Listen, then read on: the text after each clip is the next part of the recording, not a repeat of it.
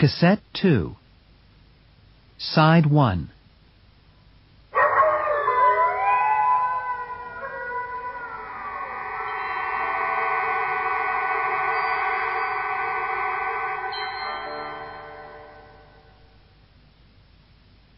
Chapter 5 More Hard Work Thirty days after leaving Dawson City, the team arrived back in Skagway.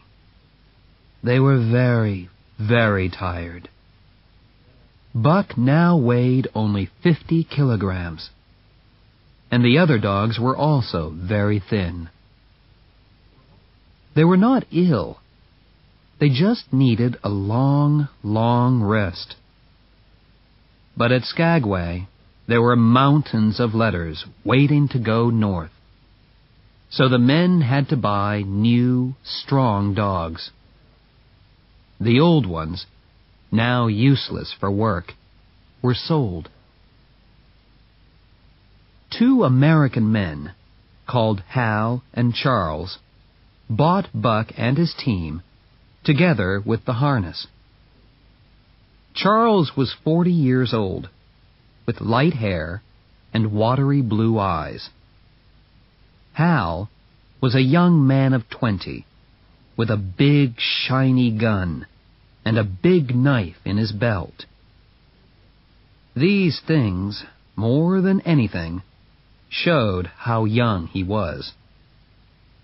Both men were clearly new to the North and its hard and dangerous life. They took the dogs back to their untidy camp where a woman was waiting. This was Mercedes, Charles's wife and Hal's sister.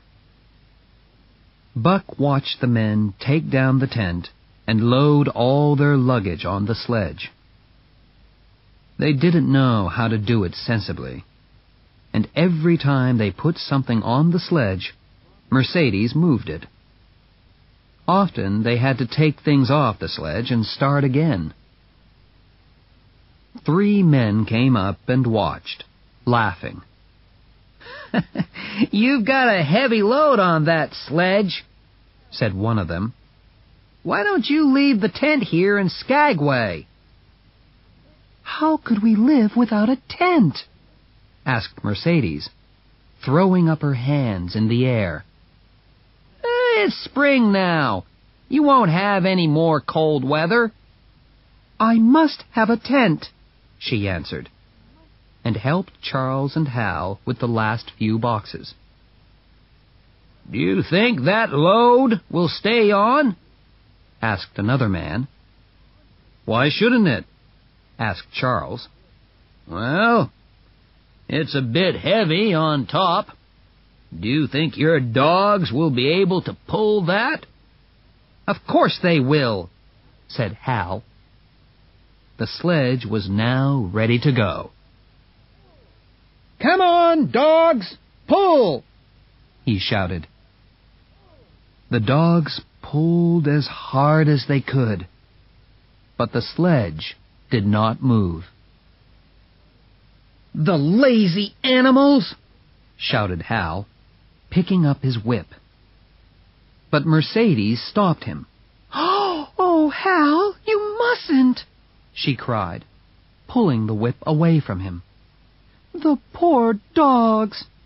You must promise to be nice to them, or I'm staying here. You know nothing about dogs, answered Hal. Leave me alone. Dogs are lazy, and you have to whip them.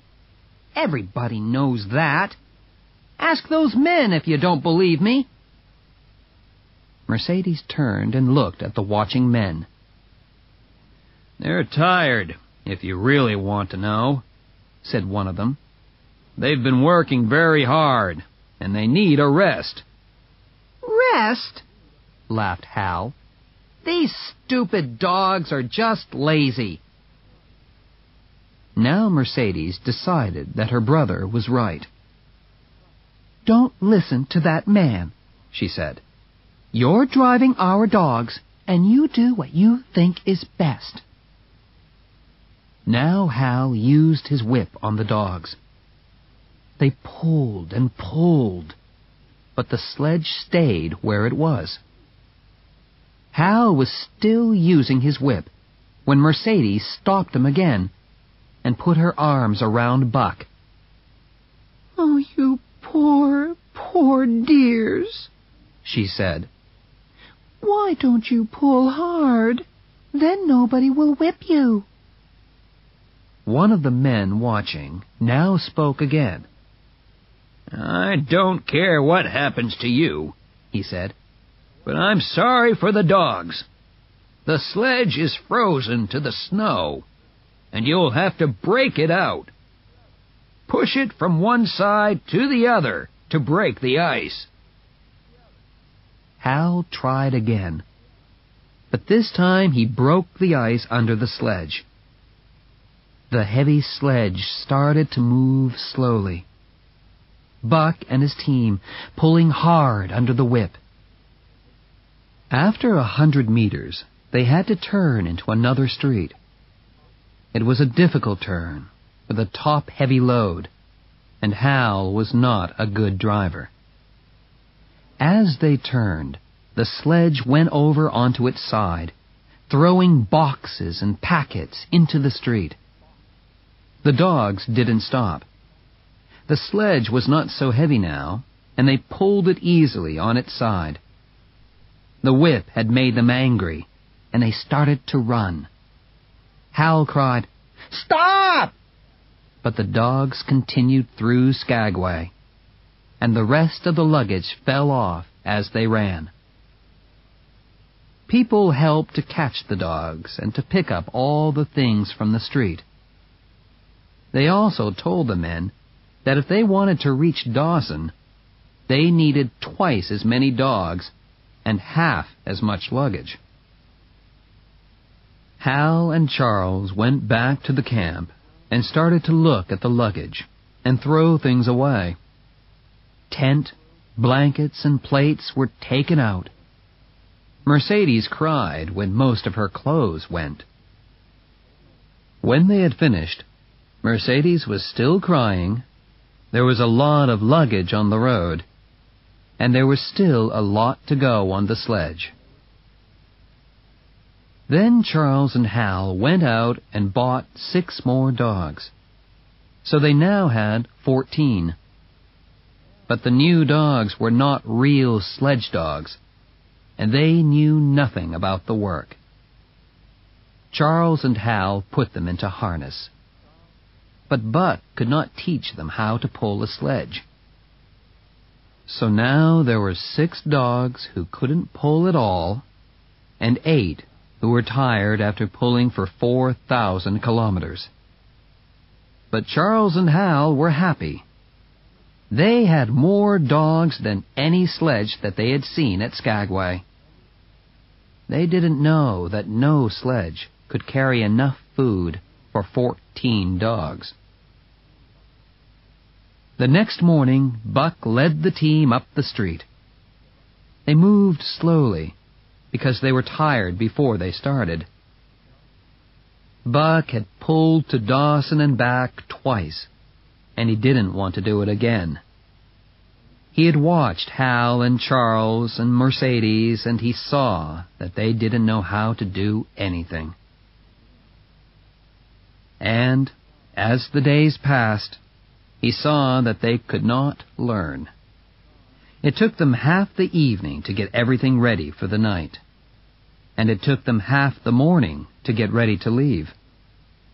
And when they did start, they often had to stop because something had fallen off the sledge. On some days they traveled 20 kilometers, and on some days only 10. They didn't have enough dog food when they started, and they used what they had much too quickly. Hal gave the dogs extra food because he wanted them to pull harder. Mercedes gave them extra food because she was sorry for them. But it was not food that they wanted, but rest. Soon Hal saw that they had traveled only a quarter of the way to Dawson but had eaten half their food. He had to give the dogs less food. It was easy to give them less food, but it was impossible to make them travel faster. Dub had pulled hard and well all the way from Skagway, but he had hurt his leg. It got worse and worse until finally Hal had to shoot him. The six new dogs, now weak and ill from hunger and hard work, died next. Hal, Charles, and Mercedes had started the journey happily. But now they were tired, cross, and miserable. Charles and Hal argued about everything, because each thought that he was working harder than the other. And Mercedes was unhappy because she thought that she shouldn't have to work. She was tired, so she rode on the sledge, making the work even harder for the dogs. She rode for days, until the dogs could not move the sledge. The men asked her to walk, but she would not leave the sledge. One day they lifted her off. She sat in the snow and did not move. They went off with the sledge and traveled five kilometers. Then they turned, went back, and lifted her on again. Buck and the other dogs were now just skin and bone. They pulled when they could, and when they couldn't, they lay down in the snow. When they were whipped, they stood up and tried to pull again. One day, Billy fell and could not stand up. Hal killed him and threw him into the snow. Buck and the other dogs knew that soon they were going to die too. On the next day, Koona died, and there were only five dogs left. Joe, Pike, Sol-leks the One-Eyed, Teek, and Buck. It was beautiful spring weather. The snow and ice were melting. The plants were growing. And the forest animals were waking from their winter sleep. It was a lovely morning when the two men and the five dogs pulling Mercedes on the sledge came into John Thornton's camp at White River. They stopped, and the dogs dropped down immediately to rest. John Thornton was mending an axe, and he went on working as he talked to Hal. Is it safe to cross the river here? asked Hal. No, the ice is too thin. It's much too dangerous, answered Thornton. People have told us that before, laughed Hal. But we got here with no problems. Only somebody very stupid would cross the White River here, said Thornton. That's what you think, said Hal. But we've got to get to Dawson. He picked up his whip Come on, Buck. Get up now. Let's go. Thornton went on working. He had warned them, but he knew he couldn't stop these stupid men from going on. But Buck didn't get up. Sol-leks stood up slowly, then Teek and Joe, and finally Pike. But Buck stayed where he was. The whip came down on him again and again. Thornton started to speak, then stopped, and began to walk up and down. Hal now put down his whip and started to hit Buck with a club. But Buck had decided not to get up. He had felt thin ice under his feet all day, and he saw thin ice in front of him. The club hit him again and again, but Buck felt almost nothing.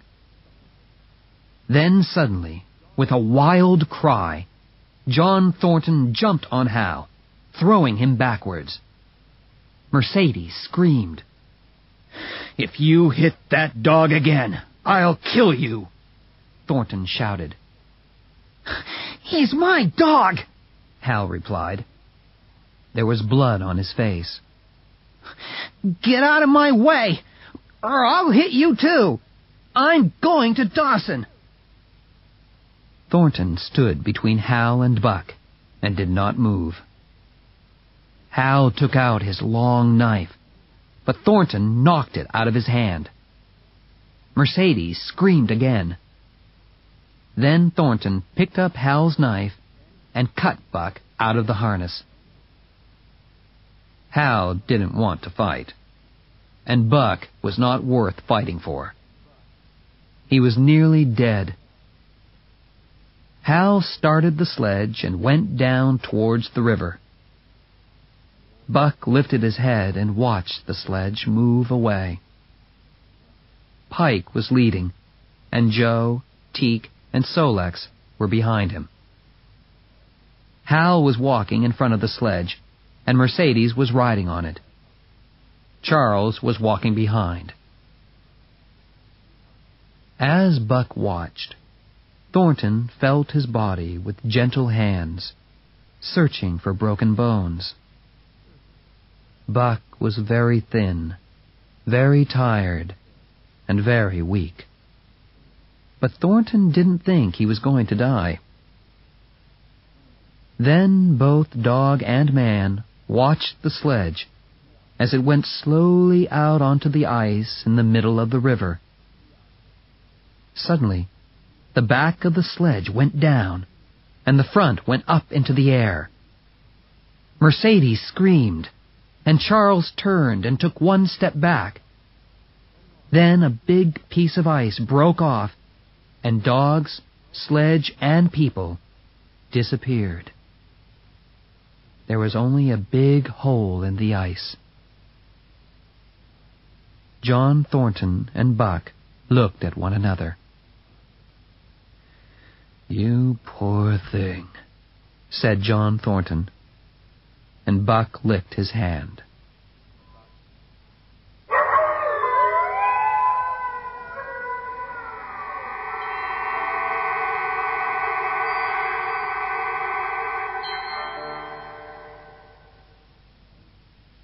Chapter 6 For the Love of a Man John Thornton had been ill in December and his two friends had had to leave him at White River and go on to Dawson.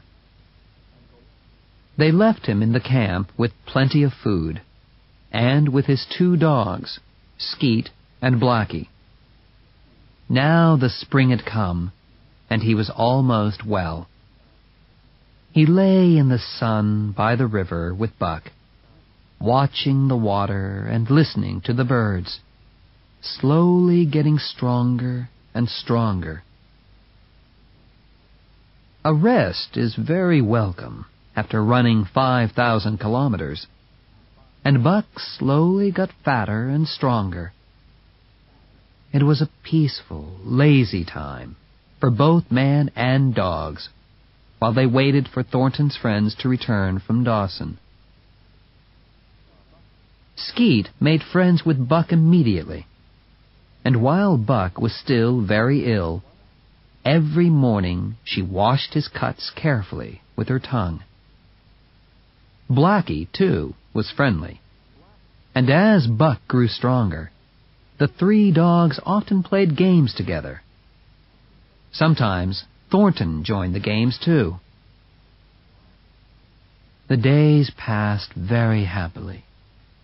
And for the first time, Buck learned to love. He had never loved a man before. He and Mr. Miller in the Santa Clara Valley had been very good friends, but Buck had not loved him. John Thornton had saved his life, but he was also a man who was naturally kind to animals. He took very good care of his dogs, not because it was sensible to do that, but because he felt they were his children. He was always talking to Buck, holding his head and shaking it lovingly. In answer, Buck liked to take Thornton's hand gently in his mouth. Buck was happy to lie on the ground all day and watch Thornton. And when Thornton spoke to him or touched him, Buck went wild with happiness. At first, he was afraid that Thornton was going to disappear, like Perrault and Francois. And at night, he sometimes woke up and went to the tent to make sure that he was still there. But something was changing in Buck. He had lived in the North a long time now, and he was almost a wild dog. He was happy to sit by Thornton's fire, but he sat as a wild animal, and his dreams were filled with other animals dogs, half wolves, and wild wolves. They seemed to call him into the forest. And sometimes Buck wanted to leave the fire and answer the call. But every time he went into the trees, his love for Thornton brought him back. It was only Thornton who stopped him going into the forest. Other men did not interest him. Visitors to the camp tried to make friends with him, but Buck stayed cold. When Thornton's two friends, Hans and Pete, arrived from Dawson, Buck refused to notice them at first. Then he saw that they were friends of Thornton's, and after that he accepted them. But they were not his friends. They were, like Thornton, kind men, and they understood that Buck loved Thornton and him alone. Thornton, too, understood Buck. One day, Buck and the three men were sitting on some high rocks, a hundred meters above the river. Thornton wondered if Buck would obey any order, even a crazy one. Jump, Buck! he shouted, pointing down to the river. A second later, the three men were holding Buck back as he tried to jump. That was very strange, said Pete, when they had sat down again. Not strange. Wonderful, said Thornton. Terrible, too. Sometimes it frightens me. Yes, I feel sorry for any man who hits you when Buck's near, said Pete. So do I, said Hans. It happened in the autumn in Circle City. A man called Burton was starting a fight with another man in a bar. Thornton stepped between them to try to stop them. Buck was, as usual, lying in the corner watching. Burton hit Thornton, and he nearly fell, just catching a table. Buck flew through the air at Burton's throat. Burton saved his life by putting up his arm and was thrown onto the ground, with Buck on top of him. Buck took his teeth out of the man's arm and this time bit into his throat. Then a crowd of people pulled Buck off, and a doctor was called. Everyone agreed that Buck had only attacked because he saw Thornton in danger and from that day, Buck's name became famous all over the North. Later that year, Buck saved Thornton in a different way. The three men were taking a boat down a fast and rocky river. Thornton was in the boat, while Hans and Pete moved along the riverbank, holding the boat with a rope. Buck followed them keeping a worried eye on Thornton. They came to a more dangerous part of the river, and the boat started to go too quickly. Hans pulled on the rope to stop it, and pulled too hard. The boat turned over, and Thornton was thrown into the water and carried downriver towards rocks where no swimmer could live. Buck jumped in immediately and swam 300 meters until he reached Thornton. Then he turned, and with Thornton holding his tail, Buck swam towards the riverbank. But they moved slowly, and all the time the river was carrying them towards the place where the water crashed twenty meters down onto rocks. Thornton knew that they would not get to the bank quickly enough, so he let go of Buck, held onto a rock in the middle of the water, and shouted, Go, Buck, go!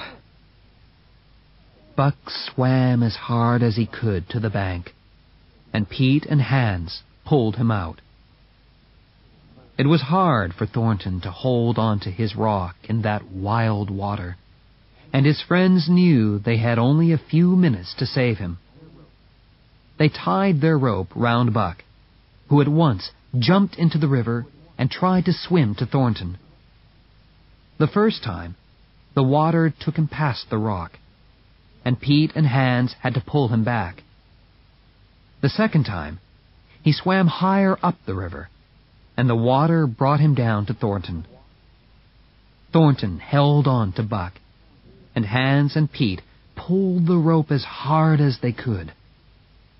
Man and dog disappeared under the water, banging into rocks, turning over and over, sometimes with Buck on top, sometimes Thornton. When Hans and Pete finally pulled them out, both seemed more dead than alive. But after a while, their eyes opened and life returned. That winter, at Dawson, Buck did something that made him even more famous in the North. It was also very helpful to the three men. They wanted to make a journey to look for gold in the East, and they needed money. They were in a bar one day when some of the men started to talk about dogs.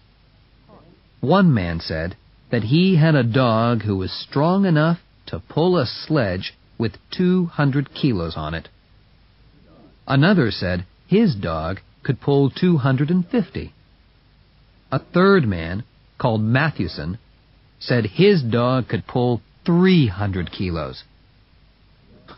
That's nothing, said Thornton. Buck can pull 350. Can he break the sledge out when it's frozen to the ice and then start it moving? And pull it a hundred meters? asked Matthewson. He can break it out and start it and pull it a hundred meters, said Thornton.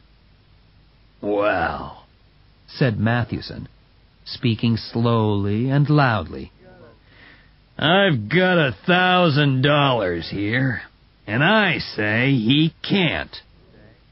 As he spoke, he took a bag of gold and put it down on the table. Suddenly, Thornton was worried. He knew Buck was strong, but was he strong enough? Now ten men were watching him and waiting. He didn't have a thousand dollars, and neither did Hans or Pete. I've got a sledge outside with 350 kilos on it, said Matthewson. So, it's easy if you want to try. Thornton didn't know what to say. He looked at the other men in the bar. One of them was an old friend, Jim O'Brien. Can you lend me a thousand dollars, Jim? he asked softly.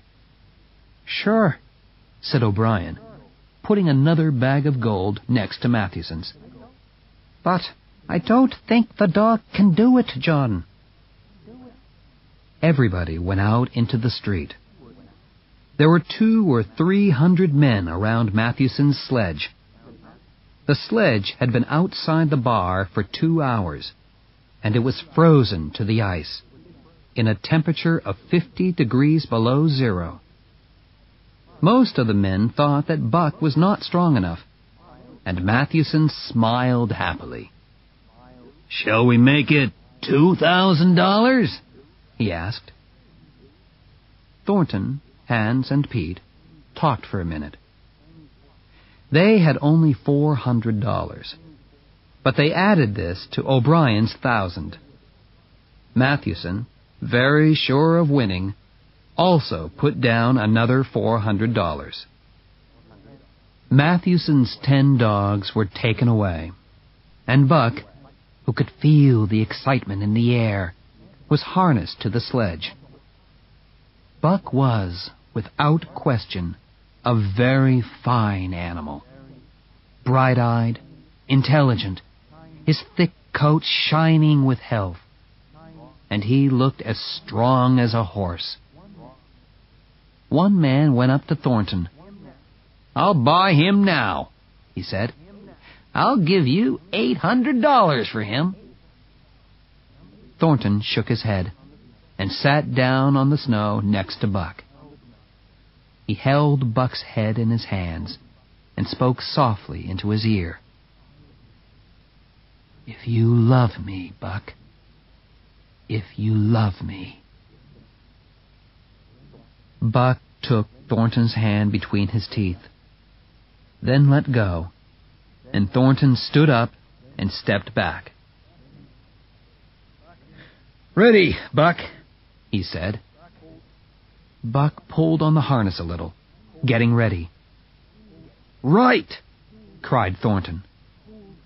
Buck pulled to the right, hard, stopped suddenly, and the ice under the sledge began to break. Now, left! called Thornton, and Buck pulled to the left, breaking more of the ice. Now, pull! Buck threw himself against his harness and pulled. He held his body low to the ground, his head down and forward, and his feet dug into the hard snow. Harder and harder he pulled. Suddenly, the sledge moved a centimeter. Two. Three. And little by little, it started to go forward across the snow. With each second, it went a little faster. And Thornton ran behind, calling to Buck as he pulled the sledge towards the end of the hundred meters. The watching men were shouting and throwing their hats in the air. Buck had won. Then Thornton was on the snow next to Buck again, talking to him. And Buck had Thornton's hand in his teeth.